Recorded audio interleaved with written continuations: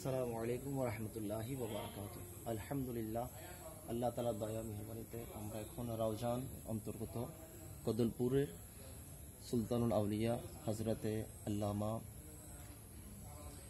আশরাফ শাহ বলখি রহমতুল্লাহ তালাহি এর মাজারে পাকে আমরা হাজির হয়েছি।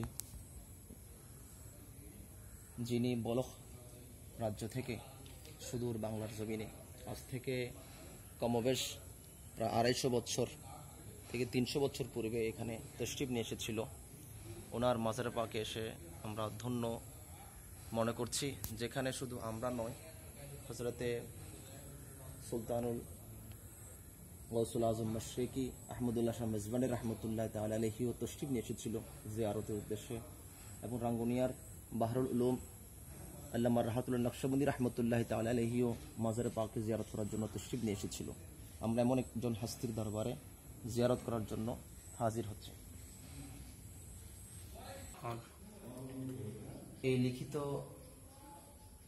কালামটি হচ্ছে হজরতে শের বাংলা আজুল হক আল কাদিরি রহমতুল্লাহ তালির লিখিত দেওয়ানে আজিজ থেকে সংগৃহীত যা এখানে মাজার পাকের সামনে টাঙ্গানো রয়েছে।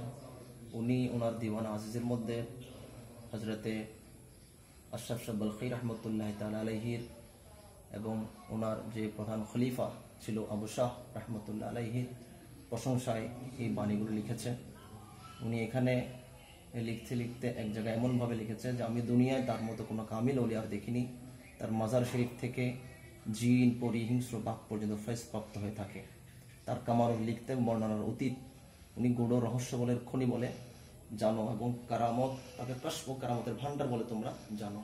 উনি আরও লিখেছে যে হজরত আবু শাহকে শীর্ষস্থানে বলে তোমরা জানবে তিনি ফয়েজ ও কামালের কষ্ট করুন তিনি পরিশুদ্ধ আত্মার লোকদের প্রত্যাবস্ত।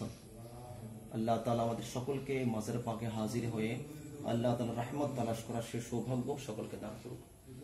আমিন।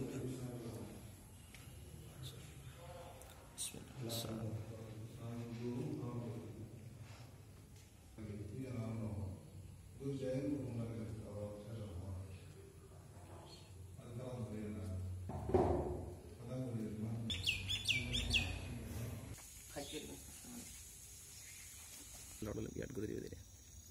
নিয়ে আসো তুলে দাও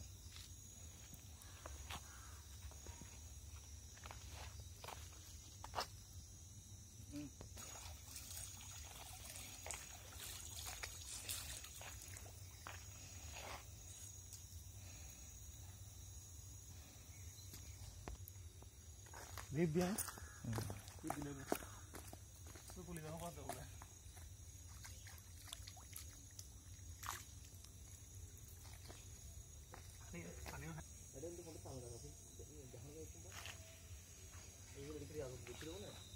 হুম।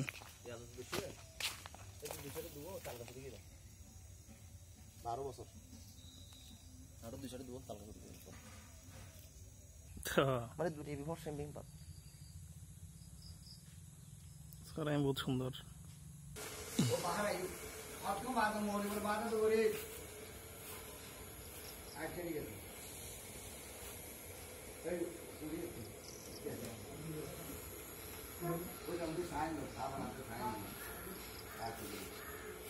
হাই আমাৰ মোৰ চুলিটো দুদিন আছে এটা কিন্তু মই লাগো ঠিকে আহোঁতে বিয়া এটা হাই তোমাৰ কালিকে জাগাটো মই মন্দিৰ